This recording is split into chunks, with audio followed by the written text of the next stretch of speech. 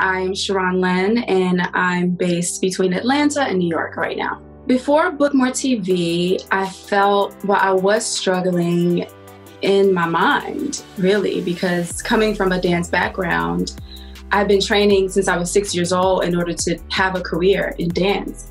And um, I really started seriously training and acting in 2014. So it took me like literally, it wasn't until 2018 that I would even consider myself an actor. I would say I'm an actor because I understand the work that's involved. And so I think that just put me in a mindset that was unhealthy. I know a lot of people that like went to Yale and have all this fabulous training and they're amazing. And so I didn't have the right mindset around what I was capable of and what you know what I had to bring to the table.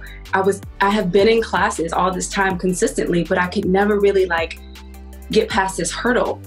And so yeah, the mindset work was a was a struggle for me. A big win or victory I had was understanding what I have permission to do in my scenes and how much I can play and what I can use and how it can manipulate the space that isn't seen in the camera and how important the camera lens is. And so I feel, I feel like that for me, that was really driven home, even in the room with people. So, like, yeah, the permission to do whatever is necessary to make what happens on the camera work. It was that was like, ah, I've been missing that. So that was a big, a big win. I'm excited to get to work with even just that alone. My number one takeaway again was the mindset work. The fact that we started with that and what we did to get the mind right, it definitely set a tone for the rest of the course. And it was like, okay, let's let's let's rock and roll. And um, I felt like nothing went untouched, from hair to stage directions, everything. Nothing went untouched. And I just feel like I have a full toolkit of, of anything that I need. And I'm like so ready, like so amped. And you know, it's it's beautiful and to know that I have continual access to the course. And I in full transparency, I didn't even do everything. I didn't do the bonus courses. I uh, I didn't get there yet, but I have all this material. And so um, yeah, I felt like nothing went untouched.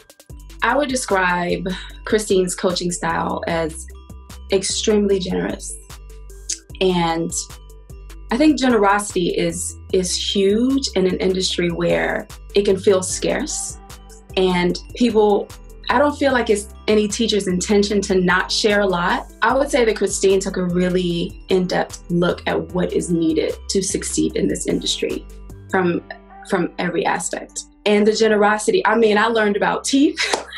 I learned about wigs in a way that I didn't expect. I learned about so much. We learned about so much. And it was just so generous. Like very generous. Just it was very generous. That's the best word I could I could use.